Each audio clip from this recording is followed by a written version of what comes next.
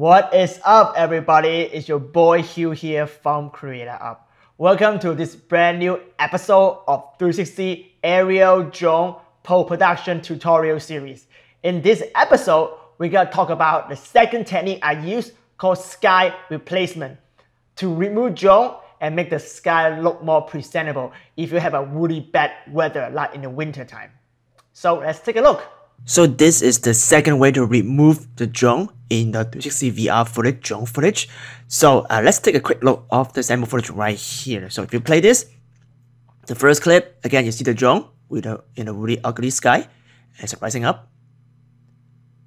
And then that is the second footage. Look at that, nice color, really, really nice sky, and the drone is gone. It's actually very stable as well.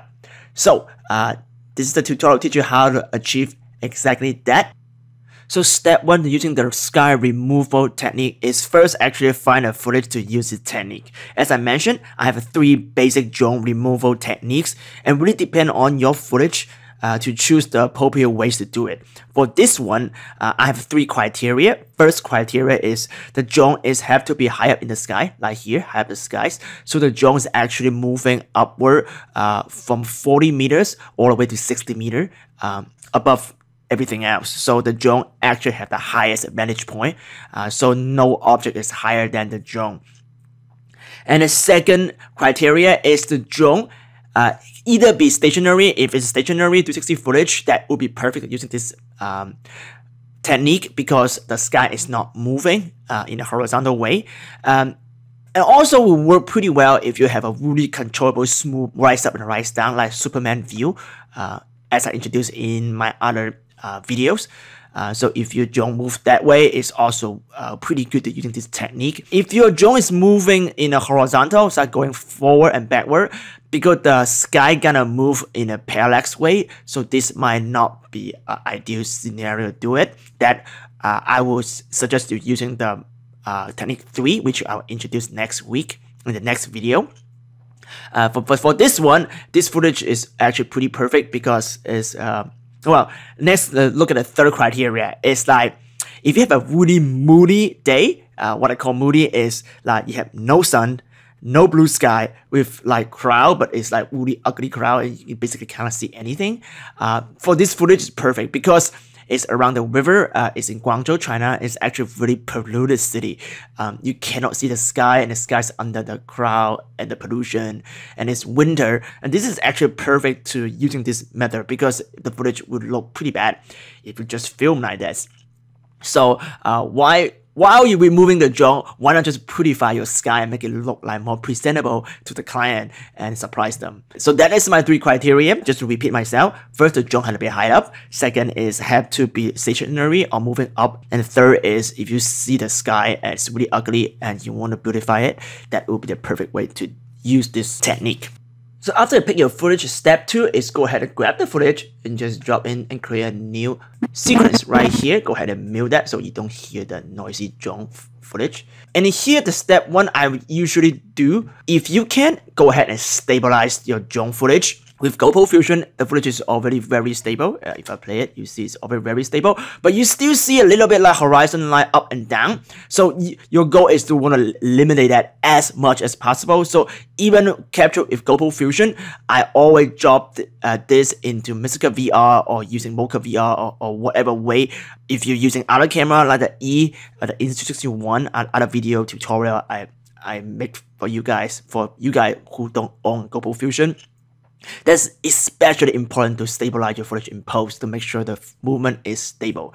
So I will have an entire tutorial series to teach you how to stabilize footage uh, using, I would say like six or seven uh, techniques to stabilize your footage from free all the way to premium like using Mocha VR.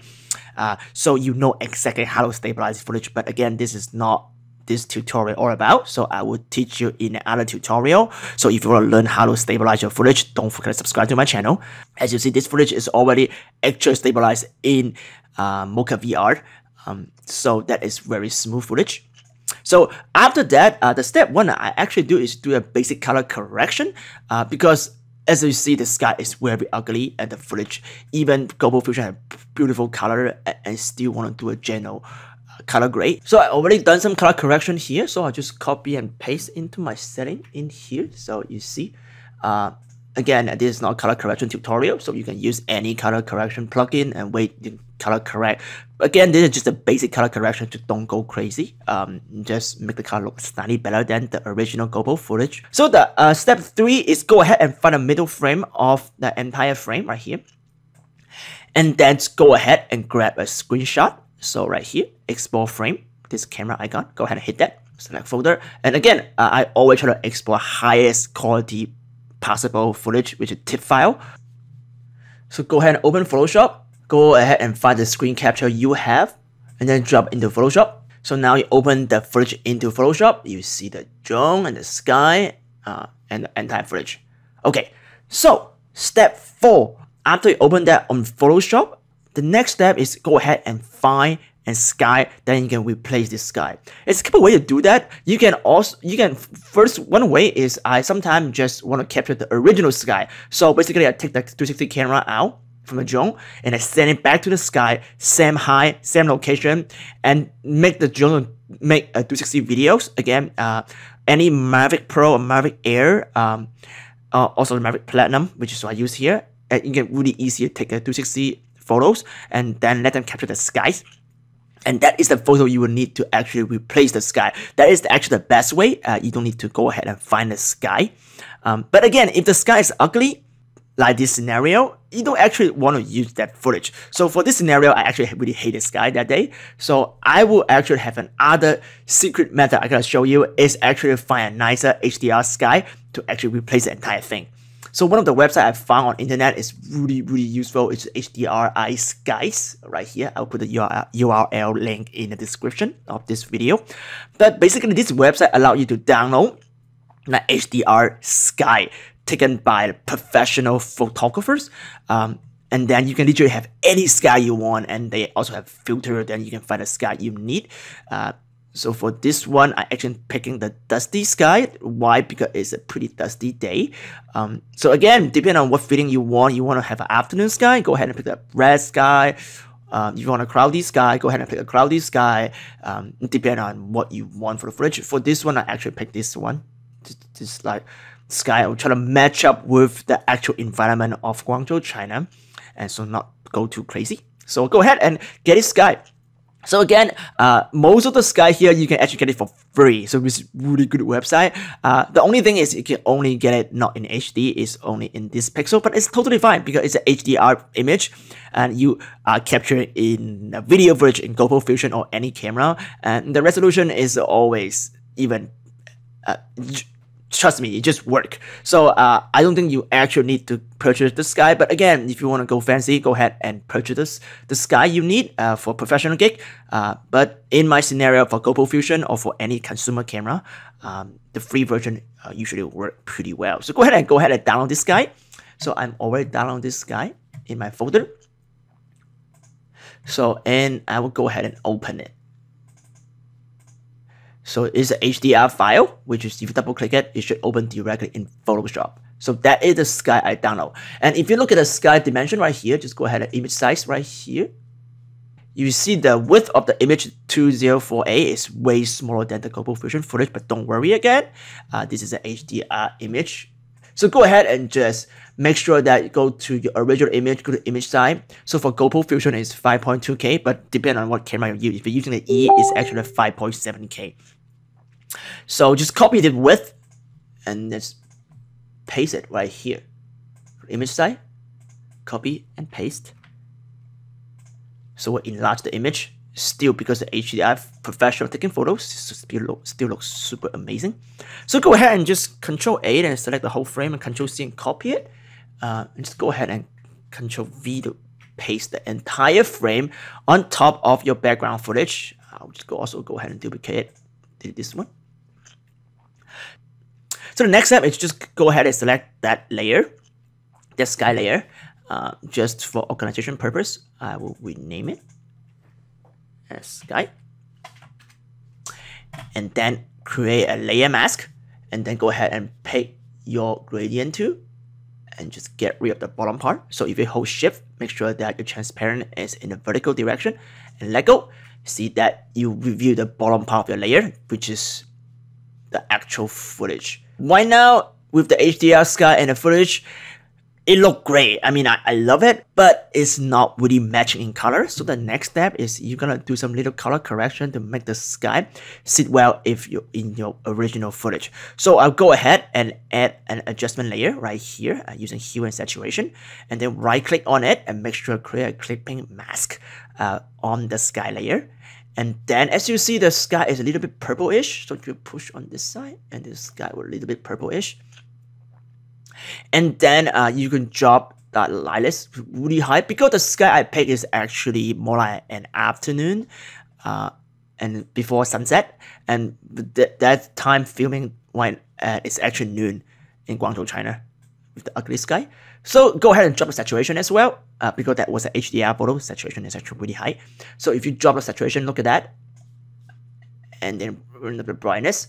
Now the whole sky just melt just like merge into the original footage look really really good and actually I love that little detail of the sun as well right here with the infinity look it just have this uh, really nice skies and the sun is right here instead of disappear in the original footage so that is the final result I really want so go ahead and create and group drop everything into the group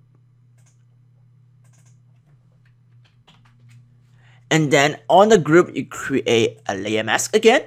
Uh, all I need is the sky. I don't need the actual footage. So for help you to do that, so your goal is to try to like crop it from the middle of the frame. You can let this bridge is pretty high. You can let a little bit right here. It's fine. And then from here, using the gradient tool to get rid of the bottom part of the footage. Like so. So now you only have the sky. So go ahead and export as a PNG file. Save that.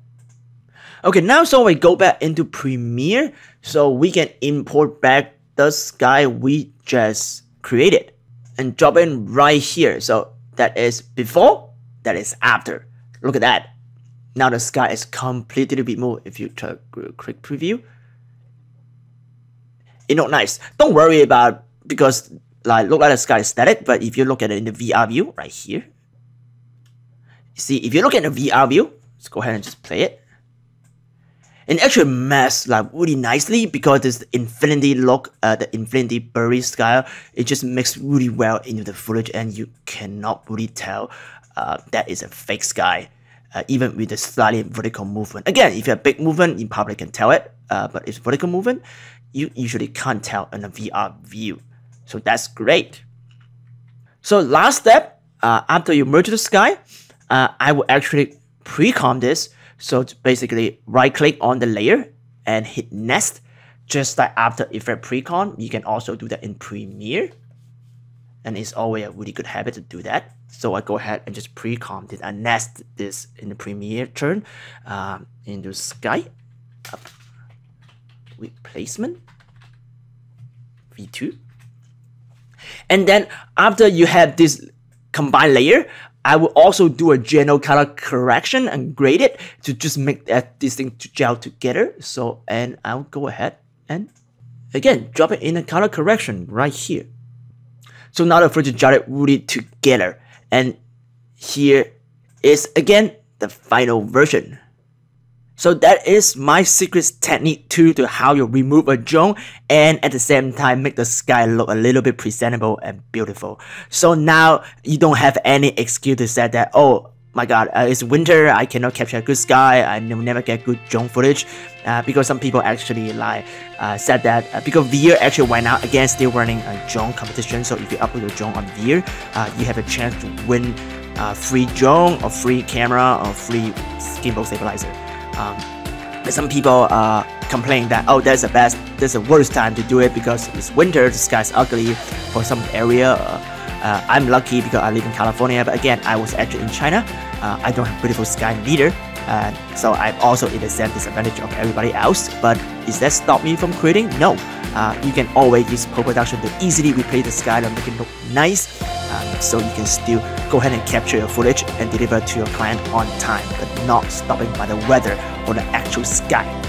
So uh, hopefully you learned something in this tutorial, again, the next tutorial will go into detail on how to actually remove sky in a professional way, a very very professional way in the scenario that you can literally remove drone in any any footage, including the footage that is not stationary and going in a horizontal direction like the one you see in here, uh, flying low um, and moving really fast. And again, it's a cloudy day and sun and everything, uh, so. Uh, and the technique is gonna use Mocha VR tracking and all the fancy technique to remove the drone completely and seamlessly. So, um, if you want that learn that tutorial, uh, the actually the technique 3, don't forget to subscribe to my channel. And if you like this video, we would very very appreciate if you give me a thumb up and share this to your other friends who's also into drone and 360 footage and also want to try uh, to create immersive 360 footage without drone with a really stable 360 experience. Again, my name is Hugh Hou. Uh, I'm also on Instagram, so don't forget to follow me on Instagram. Check out behind the scene of all this video I'm creating around the world. Um, and I will see you next time.